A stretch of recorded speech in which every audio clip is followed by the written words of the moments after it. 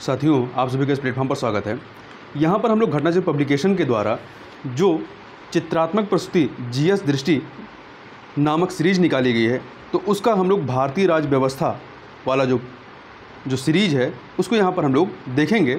और इस पूरे भारतीय राज व्यवस्था को जो चित्रात्मक रूप में प्रस्तुत किया गया है, इसको पूरे 12 पार्ट में ख़त्म करने का पूरा प्रयास करेंगे। तो ये पूरी पुस्तक जो है 12 पार्ट में कंप्लीट हो जाएगी। और आज के पहले पार्ट में हम लोग इसका जो पहला पार्ट है, वह भारत के संवैधानिक विकास, संविधान सभा एवं संविधान निर्माण, प्रक्रिया संविधान के स्रोत, इनसे संबंधित जो भी महत्वपूर्ण तथ्य हैं, उनके बारे में यहाँ पे बात करेंगे। और ये पूरी जो चीज़ें हैं, ये आपके प्रत्येक परीक्षा के लिए काफ़ी महत्वपूर्ण है। तो चलिए, प्रारंभ करते हैं। सबसे पहले बात करते हैं आज की वीडियो में, भारत के संवैधानिक विकास के बारे में। तो कंपनी के शासनाधीन जो अधिनियम बनाए गए, उन अधिनियमों के जो प्रमुख प्रावधान हैं, उन प्रावधानों को देखते हैं। सबसे पहले बात आती है रेगुलेटिंग एक्ट सत्रह सौ तिहत्तर की। इसमें ये ब्रिटिश संसद द्वारा इसको पारित किया गया। इसका उद्देश्य क्या था? इसका उद्देश्य जो है, कंपनी के कार्यों को भारत तथा इंग्लैंड दोनों स्थानों पर नियंत्रित करना तथा व्याप्त दोषों को दूर करना, इसका प्रमुख उद्देश्य था। ठीक है? ये इसका प्रमुख उद्देश्य था। इसमें जो प्रमुख प्रावधान किए गए, उन प्रावधानों की यदि बात करें तो इसमें देखिए, निदेशकों की पदावधि एक वर्ष से बढ़ा करके चार वर्ष कर दी गई और निदेशक मंडल पर संसद के प्रत्यक्ष नियंत्रण की व्यवस्था की गई इस रेगुलेटिंग एक्ट के तहत। इसके अतिरिक्त देखिए, मद्रास प्रेसिडेंसी बम्बई प्रेसिडेंसी और बंगाल, ये, इन दोनों प्रेसिडेंसी को, मद्रास प्रेसिडेंसी और बम्बई प्रेसिडेंसी को कलकत्ता प्रेसिडेंसी के अधीन कर दिया गया। और बंगाल के गवर्नर को बंगाल अर्थात अंग्रेज़ी क्षेत्र का गवर्नर जनरल कहा गया। पहले जो बंगाल गवर्नर होता था, अब उसका नाम हो गया बंगाल का गवर्नर जनरल। और इस प्रकार से प्रथम बंगाल का गवर्नर जनरल कौन होता है? वॉरेन हेस्टिंग होता है। तथा गवर्नर जनरल के परामर्श के लिए चार सदस्यों की कार्यकारिणी समिति की व्यवस्था की गई। और इसी एक्ट के माध्यम से जो है सर्वप्रथम सर्वोच्च न्यायालय की स्थापना की गई सत्रह सौ चौहत्तर में। कब? सत्रह सौ चौहत्तर में। और इसमें इसके तहत एक मुख्य न्यायाधीश और तीन अन्य न्यायाधीशों की व्यवस्था की। सबसे पहले जो मुख्य न्यायाधीश बनते हैं वो एलिजा एम्पे थे और जो तीन अन्य न्यायाधीश बनते हैं उसमें चैम्बर्स, लिमेस्टर एवं हाइड। ये नाम कई बार परीक्षा में पूछा गया, इसलिए महत्वपूर्ण है। अब इसके बाद जो है, पिट्स इंडिया एक्ट सत्रह सौ चौरासी के पहले एक और अधिनियम आता है, संशोधन अधिनियम सत्रह सौ इक्यासी, जिसे एक्ट ऑफ़ सेटलमेंट सेटलमेंट सत्रह सौ इक्यासी कहते हैं। यह जो अधिनियम आया था, ये रेगुलेटिंग एक्ट सत्रह सौ तिहत्तर में जो कुछ खामियाँ नज़र आती हैं, उन खामियों को दूर करने के लिए इसको लाया गया था। इसके बाद आता है पिट्स इंडिया एक्ट सत्रह सौ चौरासी। इसके प्रमुख प्रावधानों की यदि बात करें तो देखिए, इसमें कंपनी के मामलों में सरकारी नियंत्रण में वृद्धि की गई और नियंत्रण बोर्ड नियंत्रण बोर्ड, जिसे बोर्ड ऑफ़ कंट्रोल कहते हैं, इसका गठन किया गया। ये छः कमिश्नरों से मिलकर के बना हुआ था। कंपनी के व्यापार में आ हस्तक्षेप की नीति को लागू किया गया और कंपनी के व्यापारिक एवं राजनीतिक कार्यों को एक दूसरे से अलग किया गया। इसके अतिरिक्त इसके अतिरिक्त भारत सरकार को दासों की, नहीं नहीं बस इतना ही यहाँ पे। ठीक है? कंपनी के व्यापारिक एवं राजनीतिक कार्यों को एक दूसरे से अलग किया गया। अब आगे चलते हैं। इसके बाद जो आता है, सत्रह सौ छियासी का अधिनियम आता है। सत्रह सौ छियासी का अधिनियम आता है। इसमें क्या होता है? गवर्नर जनरल को विशेष परिस्थिति में अपने परिषद के निर्णय को रद्द करने तथा अपने निर्णयों को लागू करने का अधिकार प्रदान किया जाता है। और साथ ही इस समय जो गवर्नर जनरल है कान, लॉर्ड कार्नवालिस तो कार्नवालिस गवर्नर जनरल तथा मुख्य सेनापति दोनों की शक्तियाँ लेना चाहता था। इस अधिनियम के माध्यम से ये दोनों शक्तियाँ उसको दे दी गई। अब इसके बाद जो है चार्टर एक्ट 1813 के पहले एक एक्ट और आता है। सत्रह सौ तिरानवे का चार्टर एक्ट सत्रह का चार्टर एक्ट आता है। इसके माध्यम से कंपनी के अधिकारों को 20 वर्ष के लिए बढ़ा दिया गया। ठीक है? 20 वर्ष के लिए जो है वो बढ़ा दिया गया और बोर्ड ऑफ़ कंट्रोल के अधिकारियों का वेतन भारतीय कोष से मिलने लगा। ये प्रावधान किया गया और जो शक्तियाँ कार्मालिस को, जो गवर्नर जनरल तथा मुख्य सेनापति की शक्तियाँ दी गई थी, वो अन्य जो आगे गवर्नर जनरल आते हैं, उनको भी प्रदान कर दी गई। अब बात करते हैं चार्टर एक्ट 1813 के बारे में। तो देखिए, कंपनी का व्यापारिक एकाधिकार जो है समाप्त किया गया। चाय और चीनी के साथ जो व्यापार था उसको छोड़ करके। अन्य व्यापार पे उसका जो एकाधिकार था उसे समाप्त किया गया। तथा कंपनी को अगले 20 वर्षों के लिए भारतीय प्रदेशों तथा राजस्व पर नियंत्रण का अधिकार दे दिया गया। मतलब इसके अधिकारों को 20 वर्ष के लिए और बढ़ा दिया गया। पहली बार या प्रथम बार शिक्षा पर खर्च करने का प्रावधान किया गया प्रतिवर्ष एक लाख रुपये इसके अतिरिक्त इसका एक प्रावधान और था, वो था ईसाई मिशनरियों को भारत में प्रवेश करने की छूट मिल गई। आगे चलते हैं। अगला है चार्टर एक्ट 1833 चार्टर एक्ट 1833 इसके तहत कंपनी के सभी वाणिज्यिक एकाधिकार, यहाँ पर एकाधिकार होना चाहिए, वाणिज्यिक एकाधिकार समाप्त कर दिए गए पूर्णतः समाप्त कर दिए जो चाय और चीन के साथ व्यापार वाला प्रावधान अठारह सौ तेरह में था, उसको भी यहाँ पर समाप्त कर दिया गया। तक कंपनी के अधिकार को 20 वर्ष के लिए पुनः बढ़ा दिया गया। कंपनी को केवल राजनीतिक कार्य करने का प्रावधान किया गया और बंगाल का जो गवर्नर जनरल था, बंगाल का जो गवर्नर जनरल था, अब वो समूचे भारत का गवर्नर जनरल कहा जाने लगा। इसके अतिरिक्त कानून बनाने के लिए तो कानून बनाने के लिए, गवर्नर जनरल की परिषद में एक विधि बनाने के लिए एक अतिरिक्त विधि सदस्य सम्मिलित किया गया, जो परिषद की बैठकों में भाग लेने का अधिकार था जिसके पास, परंतु मत देने का अधिकार उसके पास नहीं था। लॉर्ड मैकाले जो था, वो प्रथम विधि सदस्य था। इसके अतिरिक्त इसके अतिरिक्त बॉम्बे और मद्रास प्रेसिडेंसी से कानून बनाने का अधिकार जो है, वो छीन लिया गया। इसके अलावा कुछ अन्य प्रावधान भी थे, जैसे विधि आयोग की नियुक्ति की गई इसी एक्ट के माध्यम से, और धारा 87 धारा 87 जिसके द्वारा जाति वर्ग के आधार पर सरकारी चयन में भेदभाव समाप्त कर दिया गया, वो भी उसका भी प्रावधान चार्टर एक्ट अठारह सौ तैंतीस के तहत किया गया। और चार्टर एक्ट अठारह सौ तैंतीस के तहत ही यह भी व्यवस्था की गई कि भारत सरकार को दासों की अवस्था सुधारने एवं अंततः दास, दास्ता समाप्त करने की आज्ञा दी गई। मतलब इसी एक्ट के माध्यम से जो दास प्रथा का अंत था, वो किया गया। और दास प्रथा का अंत किसने किया था? लॉर्ड एलन बरो, जो कि 1842 से 1844 तक गवर्नर रहता है। ठीक है? तो दास प्रथा का अंत किसने किया? लॉर्ड एलन बरो ने किया था। आगे चलते हैं। अब चार्टर एक्ट अठारह की बात करते हैं। 1853 की बात करते हैं। तो देखिए, नियंत्रण बोर्ड और उसके अन्य पदाधिकारियों का वेतन सरकार द्वारा निश्चित किया जाने लगा। ये प्रावधान किया गया कि इसको सरकार निश्चित करेगी और धन कहाँ से आएगा?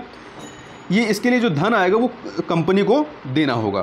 तथा डायरेक्टरों की जो डायरेक्टरेट की जो संख्या थी, या निदेशकों की जो संख्या थी, वो 24 से घटाकर 18 कर दी गई और इस 18 में छः सदस्य क्राउन द्वारा मनोनीत किए जाते थे।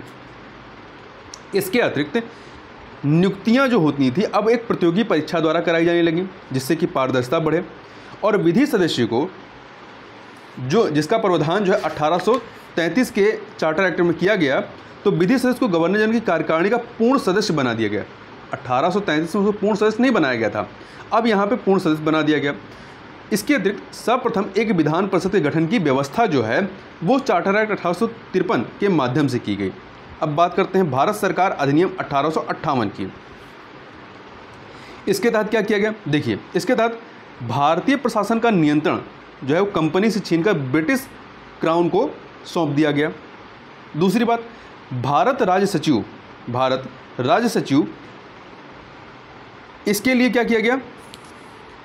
भारत राज्य सचिव की व्यवस्था की गई। इसकी सहायता के लिए पंद्रह सदस्यीय पंद्रह सदस्यीय भारतीय परिषद का गठन किया गया।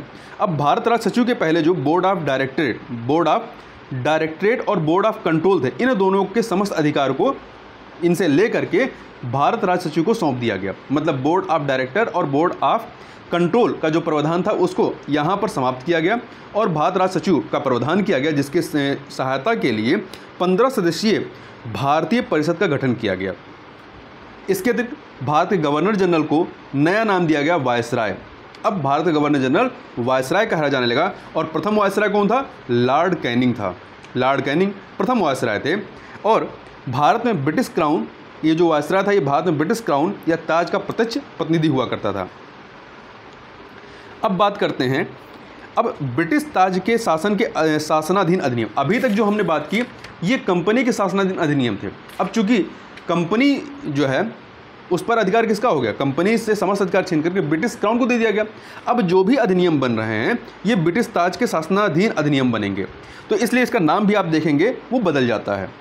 जैसे भारतीय परिषद अधिनियम अट्ठारह इसके तहत क्या किया वायसराय को आपातकाल में अध्यादेश जारी करने की शक्ति दी गई। मतलब संकटकालीन अवस्था में अध्यादेश जारी करने की शक्ति दी गई। अध्यादेश लागू रहने की अधिकतम अवधि कितनी रही? छः माह। मतलब इसका अध्यादेश की जो शक्ति होगी वो छः माह तक लागू रहेगी। वायसराय की परिषद को कानून बनाने की शक्ति प्रदान की गई। वायसराय की परिषद को कानून बनाने की शक्ति प्रदान की गई और लॉर्ड कैनिंग के द्वारा, लॉर्ड कैनिंग के द्वारा जो है विभागीय प्रणाली प्रारंभ की गई। वायसराय की कार्यकारी परिषद का विस्तार किया गया। इसके तहत न्यूनतम छः एवं अधिकतम बारह अतिरिक्त सदस्यों को सम्मिलित किया गया। जब भी बैठक होती थी तब बम्बई तथा मद्रास प्रांतों को पुनः प्रदत्त अधिकार मतलब उनके अधिकारों को पुनः दे दिया गया। अपने लिए कानून बनाने का जो अधिकार था और संशोधन करने का, ये इनको पुनः से दे दिया गया। आगे चलते हैं। अब बात करते हैं भारतीय परिषद अधिनियम अट्ठारह की। इसके तहत क्या किया गया? इसके तहत विधान परिषद के सदस्यों को बजट पर अपने विचार प्रकट करने का अधिकार प्रदान किया गया।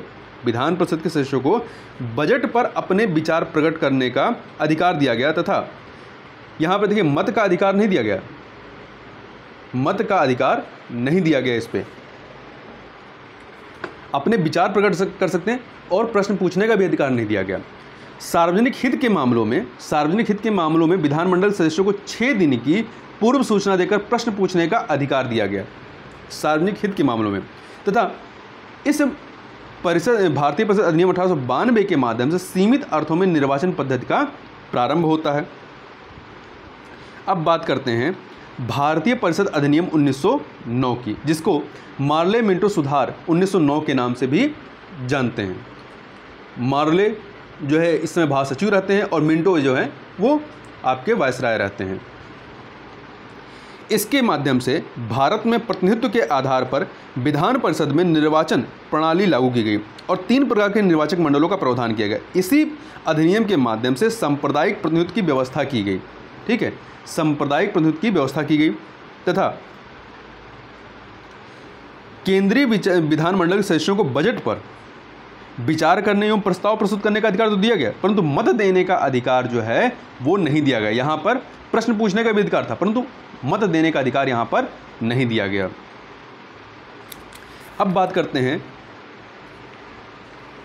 भारत परिषद अधिनियम उन्नीस सौ नौ के बारे में जो प्रसिद्ध कथन रहे हैं महत्वपूर्ण लोगों की, जैसे कि गांधी जी ने इस एक्ट को कहा कि इस एक्ट ने हमारा सर्वनाश कर दिया। वहीं रैमजे मैकडोनाल्ड का कहना था कि ये सुधार प्रजातंत्रवाद और नौकरशाही के मध्य एक अधूरा और अल्पकालीन समझौता है। अब बात करते हैं भारत सरकार अधिनियम। भारत सरकार अधिनियम 1919 की, जिसको मांटग्यू चेम्सफोर्ड सुधार के नाम से भी जानते हैं। मांटग्यू उस समय भारत सचिव रहते हैं और चेम्सफोर्ड वायसराय रहते हैं। प्रांतों में इसके माध्यम से जो है प्रांतों में द्वैत शासन का प्रारंभ होता है। देखिए, केंद्रीय स्तर पर पहली बार द्विसाधनात्मक द्विसदनात्मक विधानमंडल की स्थापना की गई और प्रांतों में द्वैत शासन का प्रारंभ होता है। और ये ध्यान रखिएगा, पूछा जाता है कि द्वैध प्रशासन का जन्मदाता किसे माना जाता है? तो ध्यान रखिएगा, द्वैध प्रशासन का जन्मदाता लायोनिल लायोनिल कर्टिस कर्टिस को माना जाता है। इसके अतिरिक्त प्रांतों में प्रत्यक्ष चुनाव प्रणाली अपनाई गई। जिसमें सांप्रदायिक आधार पर आरक्षण की व्यवस्था की गई। पहली बार इसी अधिनियम के माध्यम से उत्तरदायी शासन उत्तरदायी शासन शब्दों का स्पष्ट प्रयोग किया गया। और यहाँ पर जो प्रांतीय विषय थे, उसे दो भागों में आरक्षित और हस्तांतरित विषयों में विभाजित किया गया। तथा इसके अतिरिक्त मत देने का जो अधिकार है, वो संपत्ति संबंधी योग्यता पर आधारित थी। तथा महिलाओं को भी मताधिकार का मताधिकार दिया गया। साथ ही सांप्रदायिक आधार पर निर्वाचन प्रणाली को, जो कि 1909 में मुस्लिमों के लिए था, उस निर्वाचन प्रणाली को सिखों सिखों पर भी लागू किया गया। और इस अधिनियम का जो आधार था, वो मांटग्यू चेंसफोर्ड की जो रिपोर्ट आती है 1917-18 में, उसके आधार पर यह अधिनियम लाया गया था। अब चलते हैं। भारत सरकार अधिनियम 1935 के बारे में। तो देखिए, इसके तहत भारतीय लोक सेवा आयोग का गठन किया गया, अखिल भारतीय संघ की स्थापना का प्रावधान किया गया, जो कि जो कि धरातल पर उतर नहीं पाया था। द्वैध शासन के तहत जो है, इसको द्वैध शासन को प्रांतों में समाप्त किया गया और इसे केंद्र में लागू किया गया और प्रांतों को स्वायत्ता प्रदान की गई। ठीक है? और उत्तरदायी शासन स्वशासन जो है, प्रांतों को दिया गया और दोहरे शासन के स्थान पर प्रांतों को उत्तरदायी शासन का प्रावधान किया गया। इसके अतिरिक्त कुछ अन्य चीज़ों को भी ध्यान रखिएगा इसके बारे में। जो इंडिया काउंसिल थी, जिसका प्रावधान अट्ठारह के अधिनियम के माध्यम से किया गया, एक्ट के माध्यम से, उसको 1935 के अधिनियम में समाप्त किया गया इंडिया काउंसिल को। और इसी अधिनियम के माध्यम से वर्मा को भारत से अलग कर दिया गया, तथा केंद्रीय रिज़र्व बैंक की स्थापना की व्यवस्था भी इसी अधिनियम के माध्यम से की गई। और इसके साथ ही इसमें जो इस अधिनियम के माध्यम से सांप्रदायिक तथा वर्गीय मतदाता मंडलों का विस्तार किया गया। और इसका महत्व क्या है? इसका महत्व इस संदर्भ में है कि भारत के वर्तमान संवैधानिक ढांचे का आधार स्रोत जो है भारत सरकार अधिनियम 1935 बना काफ़ी हद तक। इसे कई सारे प्रावधानों को भारतीय संविधान में लिया गया है। द्विसदनीय तो केंद्रीय विधानमंडल को द्विसदनीय किया गया तथा शक्तियों का विभाजन केंद्रों एवं प्रांतों में। देखिए ऐसे देखा जाए तो के, केंद्रों एवं प्रांतों में जो शक्तियों का विभाजन होता है वो उन्नीस उन्नीस के अधिनियम से में कर दिया गया था। इसके माध्यम से, इस अधिनियम के माध्यम से 1935 के फेडरल न्यायालय की स्थापना अक्टूबर उन्नीस सौ सैंतीस में की गई। मतलब अक्टूबर उन्नीस सौ सैंतीस में ये कार्य करने लगता है। साथ ही, इसके संबंध में जो नेहरू जी का कथन था, नेहरू जी ने कहा कि एक कार, इसके संबंध में कि एक कार जिसमें ब्रेक तो है पर इंजन नहीं है, तथा तो इसके साथ ही से गुलामी का अधिकार दास्ता का आज्ञापत्र भी कहा। और राज्य के नीति तत्व के रूप में इसे जो है भारतीय संविधान में समाविष्ट भी किया गया है इसके कई सारे प्रावधानों को। देखिए, इसके अतिरिक्त किसमें? भारत के संविधान में वर्ष 1950 में इसको सम्मिलित किया गया। कांग्रेस के लखनऊ अधिवेशन 1936 में जो होता है, इसमें भारत सरकार अधिनियम 1935 को जो है अस्वीकृत कर दिया गया था। अब बात करते हैं भारत स्वतंत्रता अधिनियम उन्नीस सौ सैंतालीस की। तो देखिए, अविभाजित भारत अविभाजित ब्रिटिश भारत का विभाजन कर भारत एवं पाकिस्तान दो स्वतंत्र अधिराज्यों की स्थापना की गई और 15 अगस्त उन्नीस सौ सैंतालीस को भारतीय रियासतों पर ब्रिटिश संप्रभुता की समाप्ति हो जाती है और दोनों अधिराज्यों की संविधान निर्मात्री सभा को संविधान बनाने का अधिकार दिया जाता है। दोनों अधिराज्यों को ब्रिटिश राष्ट्रमंडल से अलग होने की सुनता प्रदान की जाती है तथा भारत का राज सचिव पद जो है वो समाप्त कर दिया गया। इस अधिनियम के माध्यम से। अब कुछ महत्वपूर्ण तथ्यों को देख लेते हैं। जैसे बंगाल का प्रथम गवर्नर जनरल कौन था? वॉरेन हेस्टिंग रहता है। वॉरेन हेस्टिंग रहता है। इसका जो कार्यकाल पूरा रहता है सत्रह सौ बहत्तर से लेकर सत्रह सौ पचासी तक रहता है। परंतु इसमें सत्रह सत्रह से पचासी तक ये गवर्नर बंगाल के गवर्नर जनरल के रूप में कार्य करता है। बहत्तर बहत्तर से चौहत्तर तक गवर्नर के रूप में कार्य करता है। परंतु चौहत्तर से पचासी तक बंगाल के गवर्नर जनरल के रूप में कार्य करता है। प्रधान सेनापति की शक्तियाँ सर्वप्रथम प्राप्त किया किसने? लॉर्ड कार्नवालिस ने। लॉर्ड कार्नवालिस इसका कार्यकाल सत्रह से सत्रह सौ तिरानवे तक था। इसने प्राप्त किया। भारत के प्रथम गवर्नर जनरल कौन थे? लॉर्ड विलियम बेंटिंग थे, जिसका कार्यकाल 1828 से 35 तक रहता है। और कानून निर्माण में भारतीय प्रतिनिधियों को शामिल करने की शुरुआत की गई भारतीय परिषद अधिनियम उन्नीस के द्वारा। वर्मा से भारत को अलग किया गया वर्ष उन्नीस सौ सैंतीस में, तथा सर्वप्रथम उत्तरदायी शासन शब्द का प्रयोग किया गया भारत सरकार अधिनियम 1919 में। इसके साथ ही भारतीय रिज़र्व बैंक, भारतीय रिज़र्व बैंक की स्थापना की गई भारत सरकार अधिनियम 1935 के द्वारा। संविधान सभा की सर्वप्रथम मांग की गई स्वराज पार्टी के द्वारा मई 1934 में। सर्वप्रथम भारत में संविधान सभा के गठन का विचार देने वाले व्यक्ति कौन थे? एम एन राय, जिन्होंने वर्ष उन्नीस सौ चौंतीस में इसका विचार दिया था। भारतीय राष्ट्रीय कांग्रेस ने पहली बार संविधान सभा की मांग कब की? वर्ष उन्नीस सौ चौंतीस में। भारतीय संविधान सभा चुनी गई अप्रत्यक्ष अप्रत्यक्ष निर्वाचन के द्वारा। अब संविधान सभा की बात करते हैं तो इसका गठन जो है कैबिनेट मिशन 1946 के द्वारा किया गया। भारतीय संविधान का निर्माण कैबिनेट मिशन योजना 1946 द्वारा गठित संविधान सभा ने किया था। और इस संविधान सभा में कुल पंद्रह महिलाएँ थीं, ध्यान रखिए कुल पंद्रह महिलाएँ। और इसकी प्रथम बैठक होती है नौ दिसंबर 1946 को। 9 दिसंबर 1946 को इसके स्थायी अध्यक्ष कौन थे?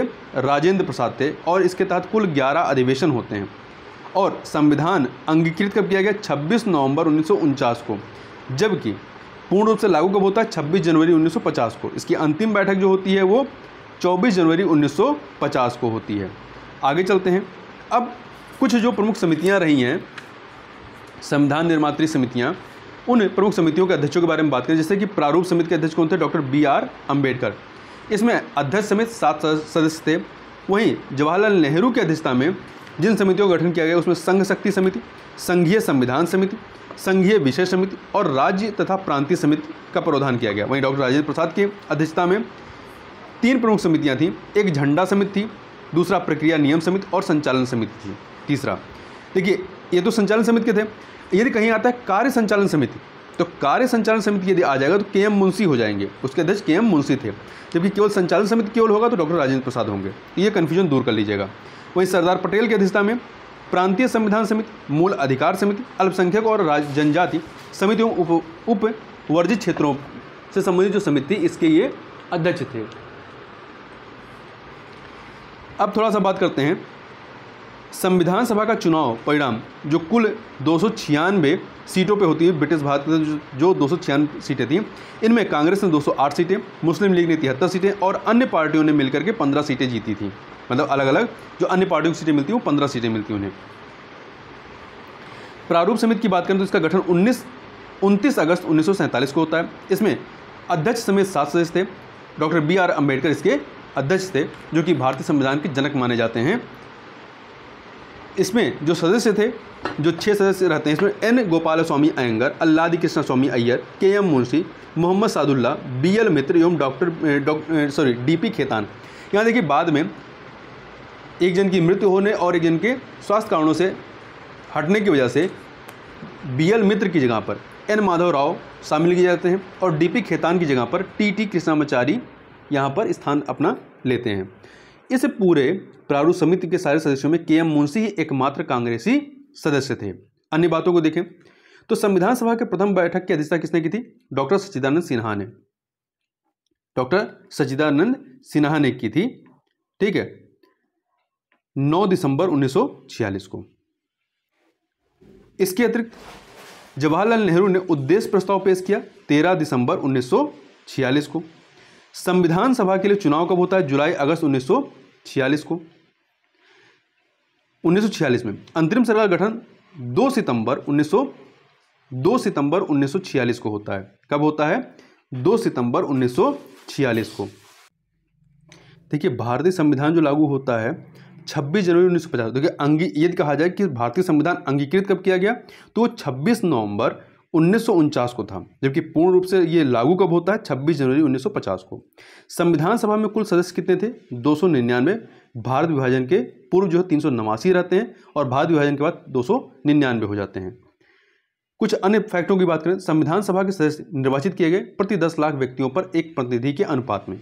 कैबिनेट मिशन के जो सदस्य थे, वो Pethick, Pethick Lawrence, Stafford Stafford Cripps और ए बी एलेक्जेंडर ये तीन सदस्य थे इसमें। संविधान सभा कांग्रेस थी और कांग्रेस भारत। ये किसका कथन रहा? ये ग्रेनविल ऑस्टिन ने कहा था। वहीं प्रारूप समिति का गठन कब किया गया? उनतीस अगस्त उन्नीस सौ सैंतालीस को। डॉक्टर बी आर अंबेडकर की अध्यक्षता में। तदर्थ झंडा समिति के अध्यक्ष कौन थे? डॉक्टर राजेंद्र प्रसाद जी थे। अब बात करते हैं भारत के प्रथम और अंतिम गवर्नर गवर्नर जनरल और वायसराय के बारे में। देखिए, बंगाल का गवर्नर, बंगाल का जो प्रथम गवर्नर कहा जा सकता है, वो कौन था? वो रॉबर्ट क्लाइव था। ये दो बार गवर्नर रहता है, सत्रह सौ साठ और फिर सत्रह सौ पैंसठ से सड़सठ तक। अंतिम, बंगाल का अंतिम गवर्नर कौन होगा? Warren Hasting.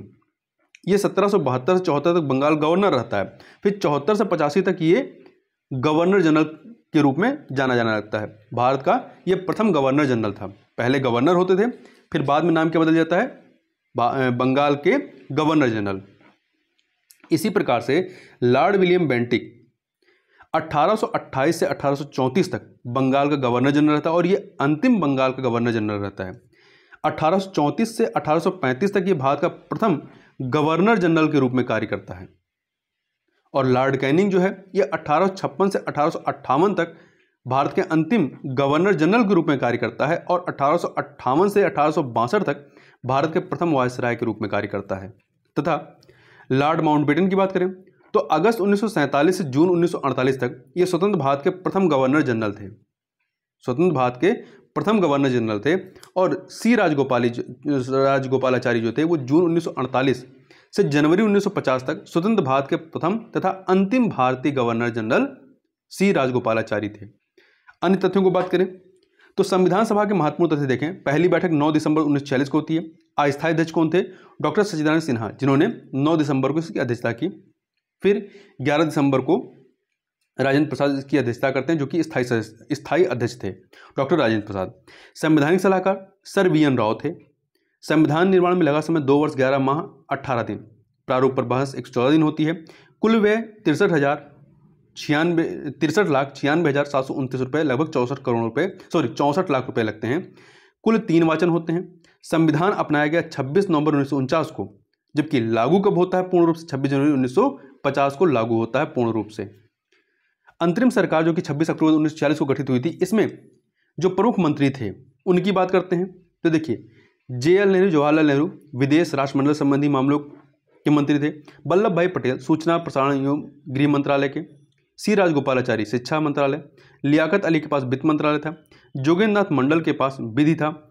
अब्दुल अब्दुल रब रब निस्तर, ये रेल नहीं, बल्कि देखिए, रेल और परिवहन मंत्रालय, वो अरुणा आसफ अली के पास था।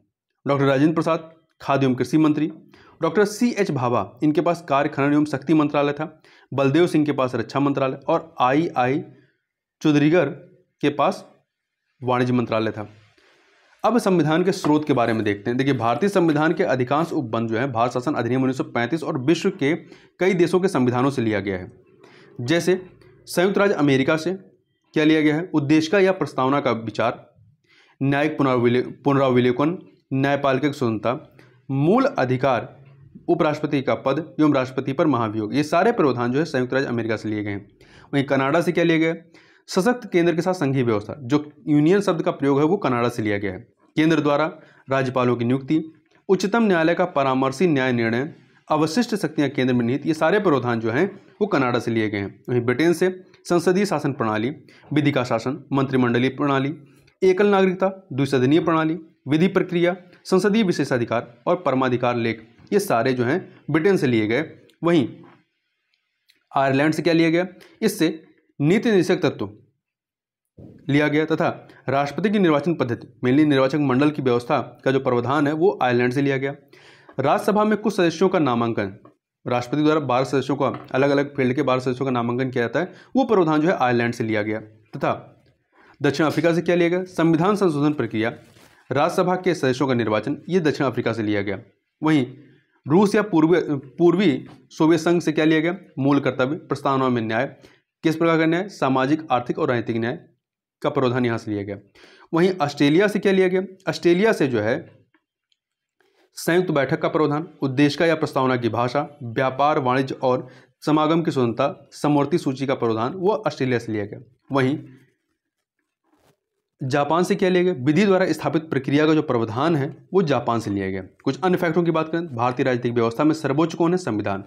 भारतीय संविधान में आपात उपबंध लागू किया गया, लिया गया है जर्मनी के वाइमर संविधान से। वहीं राष्ट्रपति के विचारार्थ, राज्यपाल द्वारा विधेयक सुरक्षित रखने का उपबंध जो है कनाडा के संविधान से लिया गया। विश्व का प्रथम लिखित संविधान कौन, किसका है? यूएसए संयुक्त राज्य अमेरिका का है। तो इस प्रकार से इन चीज़ों को हम लोगों ने इस वीडियो में देखा। तो इस वीडियो में बस इतना ही। मिलता है नेक्स्ट वीडियो में। तब तक के लिए बहुत बहुत धन्यवाद।